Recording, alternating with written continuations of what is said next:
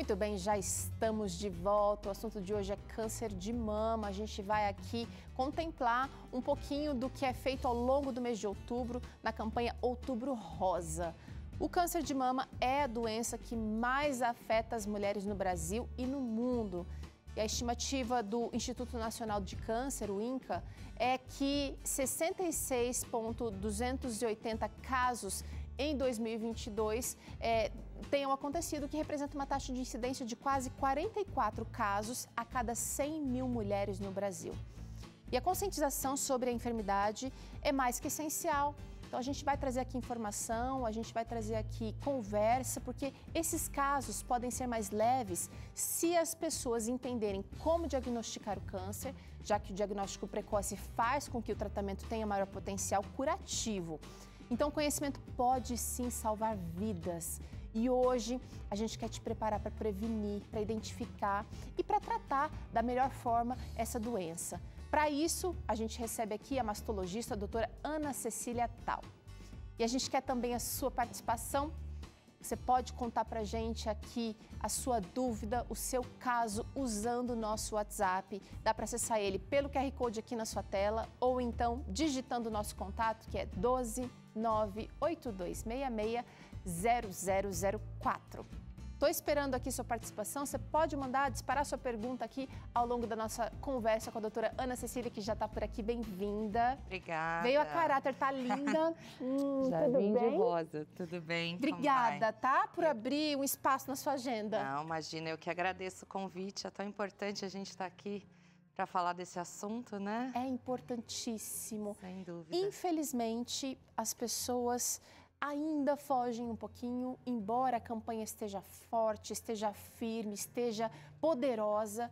Muitas mulheres não sabem como, ou tem dúvida. A gente acha que até o, o a, a, ciência, o meio científico, o meio é, é, de pesquisadores tem é, pesquisado e procurado saber a resposta de por que o câncer surge.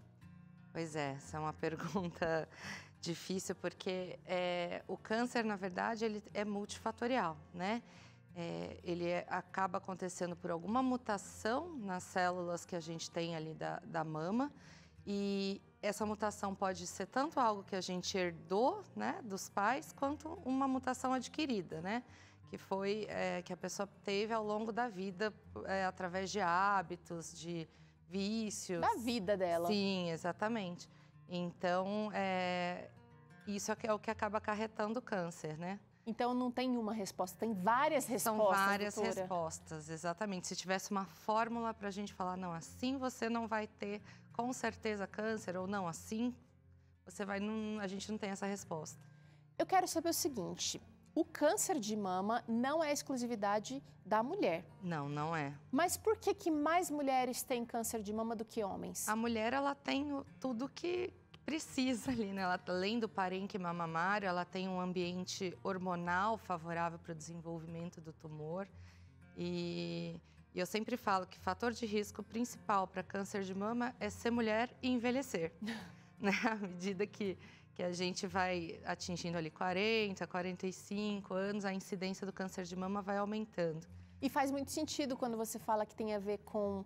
É história genética, com a mutação Sim. e também com o nosso estilo de vida, porque na, no envelhecer a gente já está colhendo frutos daquela de uma vida, Do né? Que vivenciou, exatamente. Até a mutação genética herdada ela é responsável só por 15% dos tumores. No, a maior parte são mutações adquiridas. Agora, tem mulheres mais jovens diagnosticando câncer de mama Sim. hoje, não tem? Cada dia mais é, em mulheres mais jovens e com maior frequência a gente tem identificado isso. Não se sabe exatamente o porquê, mas pode estar associado a estilo de vida, alimentação. Bom, agora eu quero saber o seguinte: o autoexame pode ser um aliado a vocês profissionais? Sim, o autoexame ele é importante não tanto para fazer o diagnóstico, ele é importante para que a mulher se conheça e perceba mais precoce possível se tem alguma alteração na própria mama. Então, essa é a maior importância. Ele não substitui é, você fazer o exame, né, a mamografia, a ultrassom conforme a faixa etária, mas ele é essencial nesse alerta para a mulher falar, opa, isso aqui não estava aqui antes, vamos, tem que procurar o médico. E, e, a mulher, ela que, que agregou tantas funções e tantas ocupações e tantas coisas na sua vida, ela corre sim o risco de é, é, receber essas mutações perceptíveis, mas passarem desapercebidas por tanta Exato. correria e tantas as, as, as, facetas que a mulher de hoje em dia tem que, que, exercer, né? É, cuidar de família, de trabalho, e de tudo. É, realmente tem que ter. Isso que é o importante desse mês de outubro, que é para lembrar mesmo a mulher da importância dela é, procurar um médico, fazer seus exames, fazer o, o autoexame, olhar um pouco para si, né? Ter essa questão do autocuidado e, né, para poder se para poder pescar qualquer coisa é, diferente. Olha, qualquer alteração. Chegou uma interação interessante aqui, doutora Ana. Olha, vamos ver quem está na tela agora. É a Ângela, de Pitimbu. O câncer de mama só atinge as mulheres? Você já respondeu aqui. Os homens é. precisam é. fazer o autoexame também? É isso que eu queria saber. É, o homem, é, de cada 100 pessoas com câncer de mama, um é homem. Então, 1% dos tumores de mama são em homens. No homem é mais fácil de perceber, porque ele não tem o volume, volume. mamário. Então, é, a maioria acaba notando, no, se palpando ou até observando mesmo, né? Que você consegue ver mais fácil alguma alteração. Não existe uma recomendação de que ele faça mamografia, nada disso, como com a mulher, a não tá. ser que note alguma lesão, aí o médico vai indicar. Agora, nem tudo que você achar diferente aí quando você faz o seu autoexame, tá lá tomando banho, passou sabonete, sentiu um carocinho, nem tudo significa que é um nódulo é, maligno. Não. Explica pra gente a, a, diferença, doutora, de nódulos. E se eu tenho um nódulo benigno, eu preciso ficar alerta? Ele pode se tornar maligno? Então, depende, né? É, o nódulo a gente consegue ver algumas. Ele tem algumas características que são sugestivas dele ser benigno ou não, ou ser maligno. Então, tanto no exame físico, o nódulo benigno ele costuma ser mais redondinho, ele é móvel, é, ele não altera a, os contornos da mama. É, já um nódulo maligno, ele é mais endurecido, ele está fixo no parênquima mamário, ele é indefinido. Então, tudo isso no exame físico a gente percebe. Nos exames de imagem também dá para ter essa, essa noção, essa diferença essa, de suspeição. Então, os nódulos benignos, eles são mesmo, mesma coisa, eles são mais circunscritos, eles tem uma orientação ali em relação à pele diferente. Mas isso é só um especialista que vai poder, é. né? Porque até mesmo nos sintomas físicos, a gente não vai ter condições e, e qualquer alteração já é sinal de alerta para gente, que deve buscar um especialista. Exato, tem que buscar o um especialista até para a gente olhar e dizer se, não, isso aqui pode ficar tranquila ou não, vamos prosseguir a investigação. O Vamos mais pro... importante é isso. Tá. Vamos aproveitar a doutora Ana Cecília aqui, ela que é mastologista, chegou uma, uma questão interessante aqui, doutora, que talvez esse percentual muda, aumenta quando a gente já fala de cisto. Seria a mesma coisa que nódulo? Não. Porque um monte de mulher encontra cisto, o, o, o, o ginecologista fala, vai lá, faz um, um ultrassom aí, Sim. aí fica com aquele cisto e a mulher já fica preocupada. Então, eu recebo Até muito tá isso. recebo muito paciente com essa dúvida, né, que já vem apavorado, que anotou um cisto. Não tem motivo de preocupação, o cisto é uma lesão benigna, é, a diferença do nódulo é que ele é líquido, né, ele tem um conteúdo líquido e o nódulo é conteúdo sólido. Peraí, o cisto tem conteúdo líquido? Líquido, líquido, tá. isso. E o, o nódulo é, é sólido. Então, eu brinco que a bolinha de água, o cisto. Cisto não aumenta o risco de câncer de mama, cisto simples, né? Estou dizendo. Não aumenta o risco de câncer, não vira câncer, não tem motivo de preocupação. O cisto, às vezes a paciente que tem cisto vem junto com sensibilidade, com dor. Dorzinha. Exato, mas não costuma ter grandes problemas vai acompanhando aí, porque Sim. o cisto pode não ser o problema, mas com o acompanhamento você pode descobrir outras coisas. Exato. Vamos falar um pouquinho de sinais, então, doutora, porque Sim. além desse autoexame, além dessa ida ao especialista, que a gente vai comentar um pouco mais aqui, existem outros sinais que a gente precisa ficar alerta. Sim. A gente vai aqui, olha, mostrar o primeiro sinal, seria uma ferida, já um machucado Sim. no mamilo. Então, é, a, esse tipo de lesão na pele, a gente tem que ficar alerta, principalmente quando é unilateral, algo que não existia antes, que surgiu, tem que ser observado, porque existe um tipo de, de tumor de mama que chama doença de Paget. E essa doença ela começa no mamilo. Então, notou alguma alteração do mamilo, precisa investigar para ter o diagnóstico. As mulheres que não estão amamentando, fica mais fácil identificar, mas é. infelizmente pode acontecer em quem está amamentando, e aí fica mais difícil pode. de ver, doutora. É, na amamentação às vezes pode ter a questão de fissura no mamilo, que são inerentes à amamentação, principalmente no início. É, é importante a gente analisar, né, e ir ao médico, procurar o mastologista ou o ginecologista para ver e ver se, o que, que pode ser feito. E, geralmente essas feridas relacionadas à, amamentação, elas resolvem em pouco Rapidinho, tempo. Rapidinho, né? É. Rapidinho. É. Então, se você sentiu que tá, tem alguma coisa diferente aí, vai ao profissional, procura ajuda. Olha outro sinal aqui, gente. Nódulo na axila. Então, além de nódulos na mama, Sim. tem que ficar esperto nesse. Por quê, doutora? Qual é a relação axila-mama? A axila, ela recebe a drenagem linfática da mama. Então, é, às vezes as tem células... glândulas aqui. É, na verdade, são os linfonodos, né? São as células responsáveis pela defesa do corpo. Então, se você tem um tumor na mama, por exemplo, o primeiro lugar que ele manda a célula por disseminação linfática são para os linfonodos axilares. Então, é importante observar ali, porque existe também a possibilidade de carcinoma oculto de mama. A gente não acha nada na mama e acha na axila. Não é tão comum, mas pode acontecer.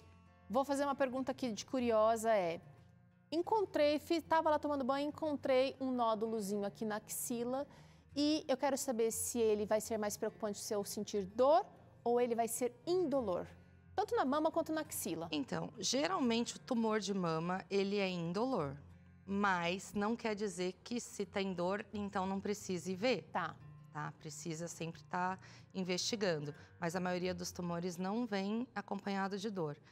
É, que... A mensagem é: tem coisa diferente? Tem, tem, coisa diferente, tem que olhar, exatamente. Vamos seguir para outro sinal aqui, gente.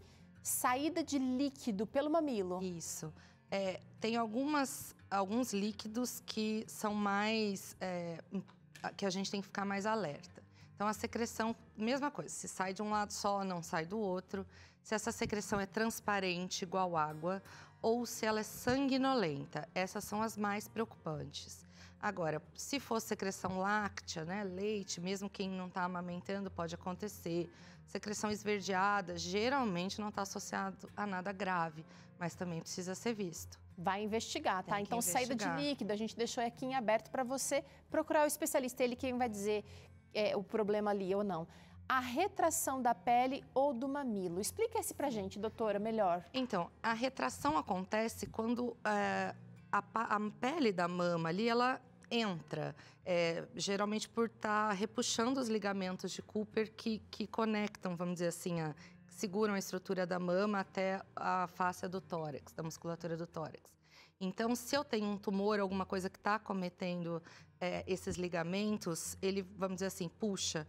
Então, pode ter retração na pele, pode ser no mamilo. Então, às vezes o mamilo era normal, não tinha nada, de repente ele começou a inverter, hum. começou a repuxar para dentro. Ou vai ficar, de então, repente, é um numa sinal... altura diferente do outro. É, isso é um sinal de alerta. Tá. Não só retração, como abaulamento também.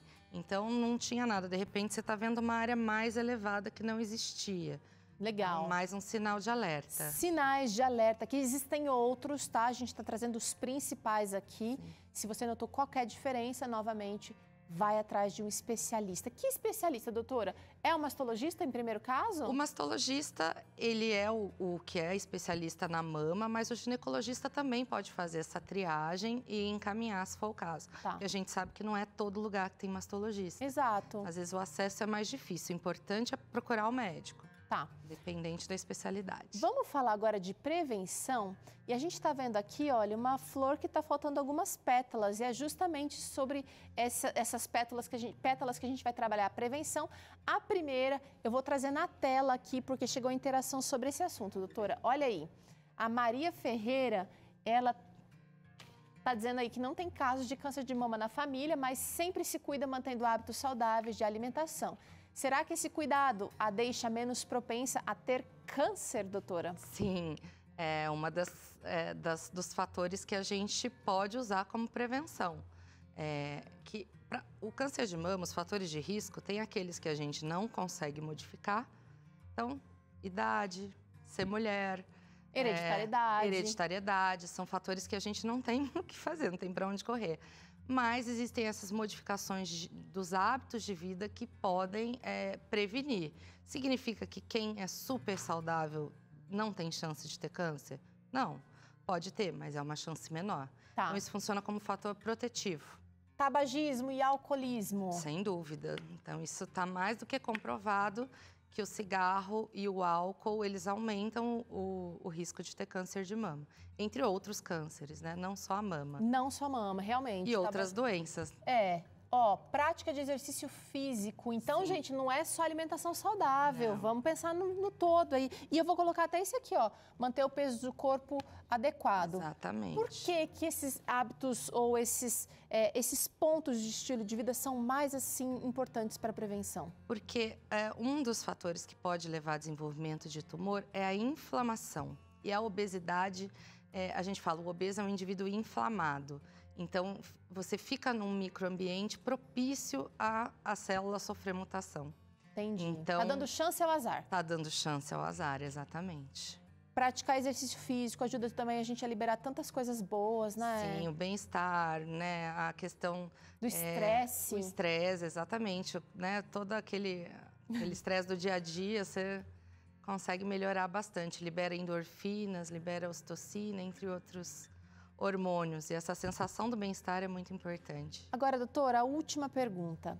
Prevenção é, é, muito tratado no, no, Outubro Rosa. Sim. E é um aspecto que não, não, se encaixa bem aqui na prevenção, mas que faz diferença no prognóstico, no, no resultado final do câncer. Bom, diagnóstico precoce, né, gente? É, eu acho que a principal mensagem, além de, de falar da prevenção, é que a mulher principalmente aquelas que estão ali chegando nos 40, a partir dos 40 anos, tem que fazer mamografia, tem que passar no médico, examinar. E uma vez ao ano, essa recomendação da Sociedade Brasileira de Mastologia e da OMS. Então, 40 anos, mamografia uma vez por ano. Existem outros exames que podem ser feitos também em associação, então ultrassom, até ressonância de mama. É, mas o principal é a mamografia, que tem impacto direto na mortalidade do câncer de mama. Então, começar com o básico, né, doutora? Exato. Com o que está mais fácil, com o que é mais acessível, mais barato, né? Exato. E hoje em dia, assim, não tem desculpa para não fazer, né? Você consegue fazer no, na UBS, você consegue tem fazer... Tem mutirões agora Sim, em Outubro Rosa, né? Vários, em várias cidades tem os caminhões aí da, da mamografia na, nas cidades. Então, gente, se tem uma mensagem que tem que ficar é essa Vai atrás. mamografia, vai atrás, não deixa passar. Quero agradecer aqui a participação da doutora Ana Cecília no Vida e Saúde mais uma vez. Ela que mantém dicas legais também pelo Instagram. Acessa lá, arroba doutora Ana Cecília Tal, tudo junto, doutora abreviado ponto Ana Cecília Tal, e você vai aproveitar é, um pouquinho mais dos conteúdos que ela posta por lá. Obrigada, doutora. Até a Eu próxima. Eu que agradeço o convite. Obrigada, gente. Ó, seguinte, sai daí não, não, não, porque ó, no próximo bloco a gente tem um projeto muito legal para te mostrar aqui, o projeto inspirador e a exposição do fotógrafo Jean, e ele vai nos mostrar aqui histórias de mulheres que enfrentaram o câncer de mama e conseguiram, sabe o quê? Ressignificar esse momento difícil de dor. Ainda tem receita de macarrão ao molho pesto por aqui. Ó, dá uma olhada? Vida e Saúde volta já.